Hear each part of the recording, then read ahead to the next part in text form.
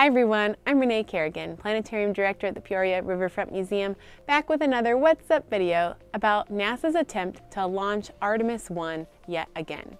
You've probably been following along, as we have here in the planetarium, as NASA has attempted to launch this Artemis 1 mission several times.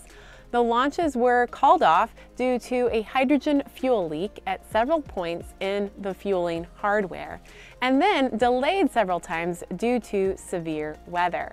The next launch attempt will be this November 16th, with a backup launch date for November 19th. You can watch this launch live on NASA TV.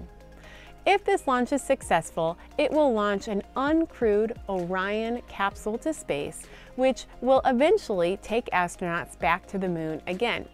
This mission is designed to test all aspects of the flight maneuvers needed to land astronauts on the moon and get them home again safely. It will also be the first launch of the next generation heavy lift rocket, the Space Launch System. So it's very exciting and we hope that NASA is successful at launching the Artemis 1 mission. Good luck NASA and all involved. Thank you for watching and thank you museum members and Visionary Society members for supporting the Peoria Riverfront Museum.